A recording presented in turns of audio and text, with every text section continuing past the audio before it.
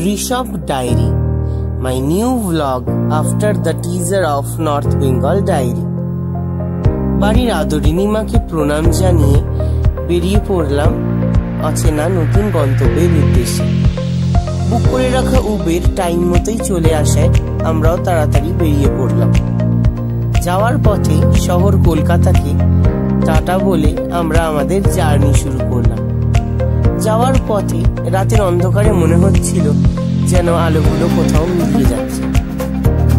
Time মতোই আমরা পৌঁছে গেলাম শিয়ালদা স্টেশনে। ট্রেনও টাইম মতোই ছেড়ে দিল। রাতের ট্রেনে আমরা যাচ্ছি এনজিপির উদ্দেশ্যে।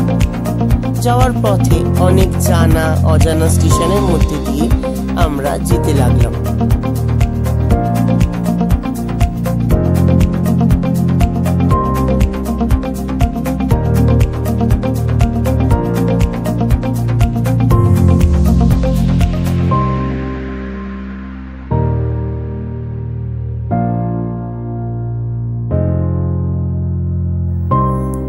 পথে এবং বাড়ি থেকে বেরোনোর আগে কিছু ছবি তুলেছিলাম। তোমাদের সঙ্গে সেটা শেয়ার করলাম। রাত পেরিয়ে ভোর হয়ে গেল। ঘুম ভাঙতেই দেখি সারি সারি আম গাছ আর তাতে মুকুল ধরেছে। অদ্ভুত সুন্দর দৃশ্য। ট্রেন জার্নি হয়তো এই জন্যই বলে খুব স্পেশাল কতখানি রাস্তা, কত অল্প সময়ের মধ্যে এবং সুন্দর প্রকৃতি উপভোগ করতে করতেই কাটিয়ে দেওয়া যায়। ক্লান্তিটা যেন মনেই হয় না। সেভাবেই আমাদের সারা রাত কাটলো। ভোরবেলাও প্রকৃতি এনজয় করতে লাগলাম। সকালে আমরা নটা পনেরোর মধ্যেই পৌঁছে গেছিলাম এনজিপি ট্রেন থেকে নামার আগে মা বাবার সঙ্গে একটা ছবি তুলেছিলাম, সেটা শেয়ার করলাম। গাড়িও বুক করাই ছিল, তাই আমাদের এনজিপিতে বেশি ওয়েট করতে হয়নি। চট করেই আমরা এনজিপি থেকে গাড়িতে উঠে পড়লাম এবং বেরিয়ে পড়লাম ঋষভের উদ্দেশ্যে। যাওয়ার এই পথটা সত্যি অবর্ণনীয়। এতই সুন্দর রাস্তা এবং তার প্রকৃতি উপভোগ করতে করতে যাওয়া খুবই সুন্দর। আমাদের রুটটা ছিল, আমরা গেছিলাম গজলডোবা হয়ে, আমরা গেছিলাম গুরুবাথান। গুরুবাথানের পর আমরা পাপার খেতি হয়ে আমরা উঠে গেছিলাম লাভা, তারপর ঋষভ। এটা আমাদের ট্যুর ছিল। তো আমি তোমাদের সাজেস্ট করব, এরপর যদি কোনোদিন ঋষভ আসো, এই নতুন রুটটা ধরে এসো, এটা খুবই সুন্দর, কারণ আরেকটা আছে কালিম্পং এর রুট তার থেকে এটা অনেক ভালো।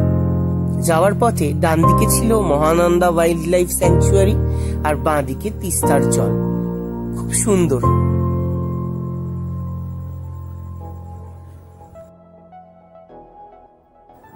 এইটা হলো তিস্তা ব্যারেজ। বাঁ দিকে আর ডান দিকে দেখতেই পাচ্ছ অসংখ্য জলরাশি। তিস্তা ব্যারেজের উপর দিয়ে আমাদের গাড়ি যেতে লাগল। খানিক পরেই পড়বে কিছু টি এস্টেট। সেই রাস্তাও দেখতে পাবে তোমরা। খুবই সুন্দর।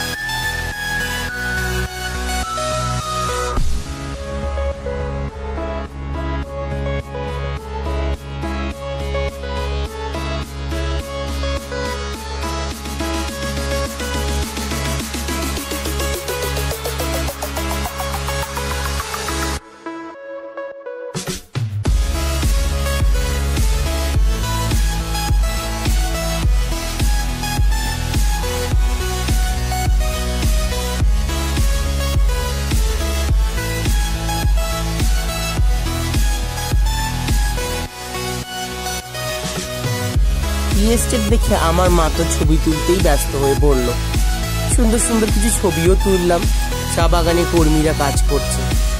সত্যি, চা বাগানের একটা আলাদা রকম ছবি আসে, এটা বলে বোঝানো যায় না। আমিও লোভে পড়ে কিছু সেলফি তো তুলেই নিয়েছিলাম, সেটাও তোমাদের সঙ্গে শেয়ার করব।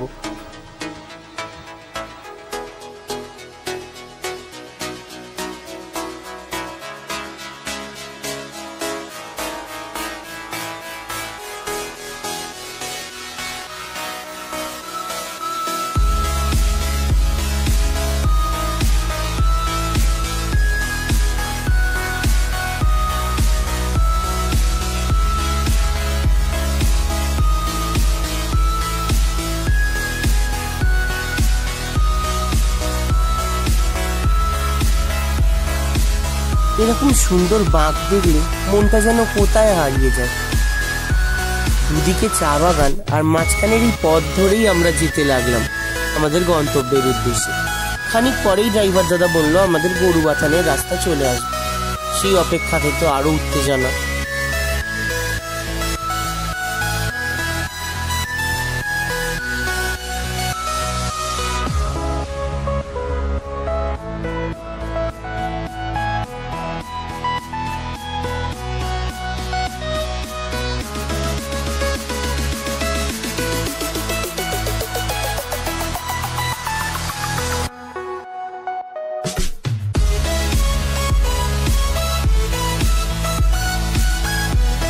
আমাদের ফার্স্ট ডেস্টিনেশন ছিল গরুবাথা এসে গেলাম ফার্স্ট ডেস্টিনেশনে এখানে খানিকটা সময় কাটিয়ে কিছু ফটো সেশন করে আমরা এখান থেকে বেরিয়ে পড়েছিলাম পাপার কুটির উদ্দেশ্যে। তো আগে তোমরা একটি গরু বাথানের এখানে ভিউটা দেখে নাও, তারপর আবার তোমাদের সাথে গল্প করছি।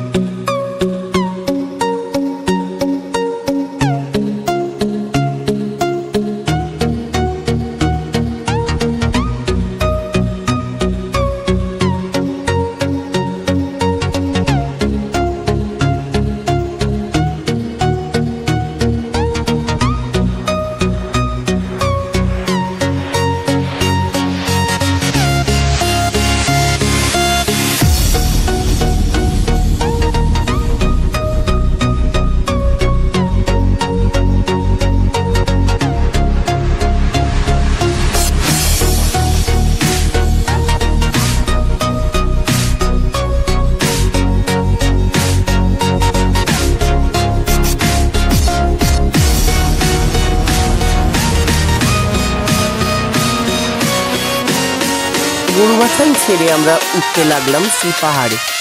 লাভা ঋষপের যে পাহাড়, সেই পাহাড়ে উঠতে লাগলাম। তো এরপর আরও সুন্দর সুন্দর ভিউ আছে। তবে ফার্স্ট ভিউটা যা সুন্দর পেলাম জার্নির আর্ধেকটা মানে ক্লান্তি হয়তো ভুলে গেলাম। সারা রাত ভালোভাবে হয়তো ঘুম হয়নি কিন্তু প্রকৃতির এই শোভা সব কিছুকে ভুলিয়ে দিতে পারি।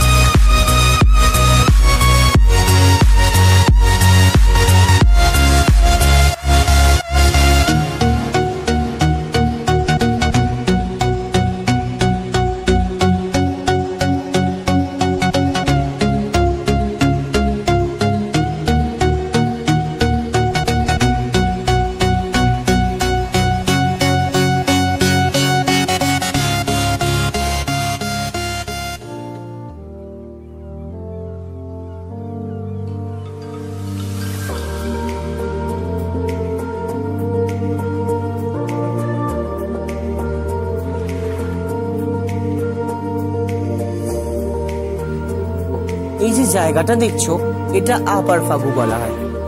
জায়গাটায় হয়তো কোনো ঘর বাড়ি নেই, কিন্তু প্রকৃতির সৌন্দর্যে অনেক বড় বড় টুরিস্ট প্লেসকেও হার মানাতে পারে। গাড়ি দাঁড় করিয়ে কিছু ফটো সেশন আমরা এখানে সেরে নিলাম।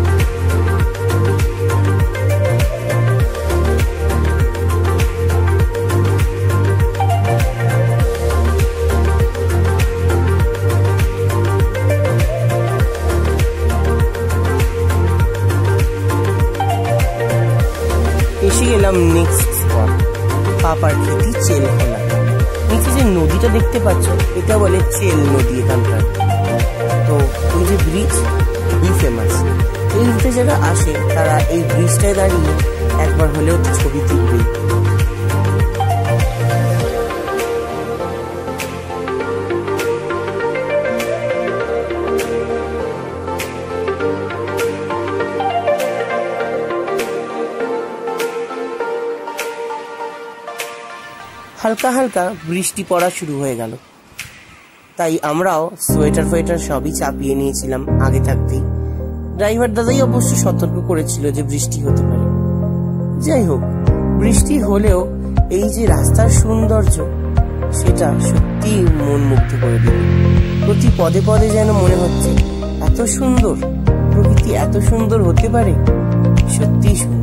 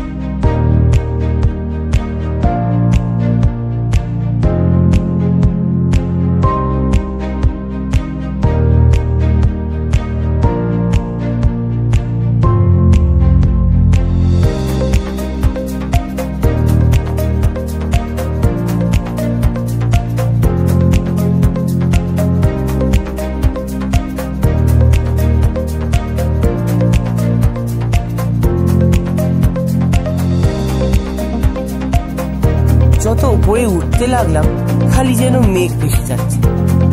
এত মেঘ, গাড়ি চালানো তো সত্যি মনে হচ্ছিল ডিফিকাল্ট কিন্তু ড্রাইভার দাদারা সত্যি পাকা হাতের খিলাড়ি বুঝলে, এরকম রাস্তা দিয়ে এত কুয়াশা, এত মেঘ, তার মধ্যে দিয়ে অনায়াসে সুন্দর করে গাড়ি চালিয়ে আমাদের পৌঁছে নিয়ে গেল সেই গন্তব্যের উদ্দেশ্যে।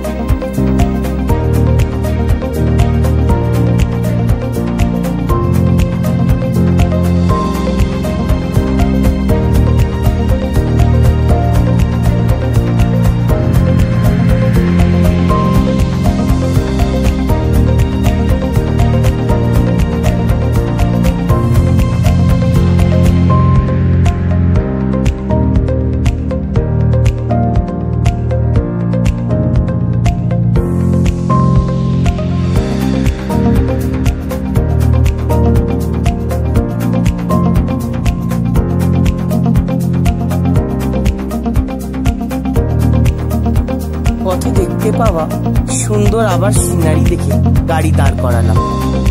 পাহাড়ের এই ফাঁকা রাস্তা দিয়ে একাকি হেঁটে যেতে সত্যি যেন মন বারবার মনে হয় ওই পাহাড়েই ফিরে যেতে। আকাশ দিয়ে খালি মেঘের আনাগোনা।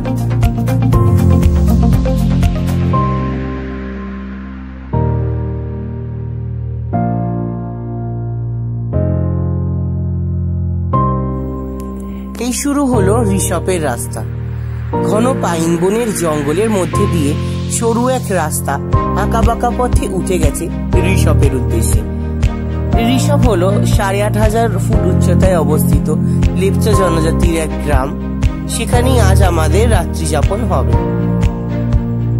রাস্তা শুনেছিলাম নাকি খুবই খারাপ, কিন্তু আমার পার্সোনাল এক্সপিরিয়েন্স বলে যথেষ্টই ভালো।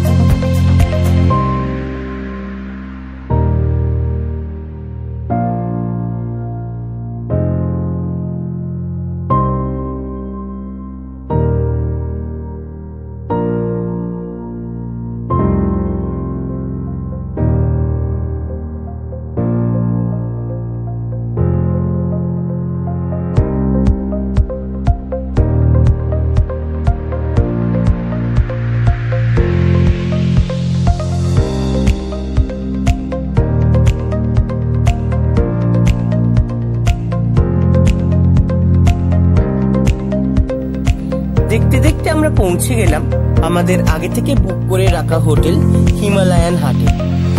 সেদিন প্রায় বিকাল চারটে বেজে গেছিল। তাই তাড়াতাড়ি আমরা রিফ্রেশ হয়ে লাঞ্চটা সেরে নিলাম। কেউ যদি ঋষভ আসেন, আমি তো রেকমেন্ড করব হোটেল হিমালয়ান হাট। কারণ এদের সস্তায় খুব ভালো প্যাকেজও আছে এবং ব্যবস্থাপনাও খুবই ভালো। সেদিন বিকালটা আমরা ওখানেই কিছু ছবি টবি তুলে তারপর রিফ্রেশ হয়ে নিলাম এবং রেস্ট নিলাম। কারণ আগের দিন রাত্রে ট্রেন জার্নি ছিল আমার। পরদিন ভোরবেলা সানরাইজ ভালো দেখতে পাইনি। মেঘের আড়ালেই যেন চতুর্দিক সব ঢেকে আছে। খুঁজে বেড়াচ্ছিলাম কোথায় কাঞ্চনজঙ্ঘা। এতে আমাদের হেল্প করল আমার দাদার ক্যামেরা তাতেই সে চোখ রেখে খোঁজার চেষ্টা করল কাঞ্চনজঙ্ঘা, এবং অবশেষে আমরা দেখতেও পেলাম কাঞ্চনজঙ্ঘা। ওই যে দেখতে পাচ্ছেন, সূর্যের আলো পড়ে, কতই না সুন্দর লাগছে দেখতে। সকালের সফর সঙ্গী ছিল এই ছোট্ট কুকুর ছানাটি সারাক্ষণ আমাদের পায়ে পায়ে ঘুরছে খুবই সুন্দর। তারপর আমরা হাতে সময় কম থাকায় অল্প কিছু ছবি তুলে এবং রিফ্রেশ হয়ে চেক আউটের জন্য প্রিপারেশন নিলাম। সাজগোজ করে রোডোডেন্ড্রনকে দেখে আমরা ওখান থেকে ব্রেকফাস্ট করে এবার বেরিয়ে পড়ার জন্য তৈরি হলাম। এভাবেই বিদায় জানালাম ঋষভ।